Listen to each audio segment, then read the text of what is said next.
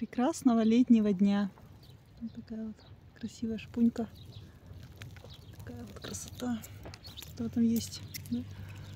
В шпуньках. Какое-то тоже целебное растение, да не знаю. Все травы целебные.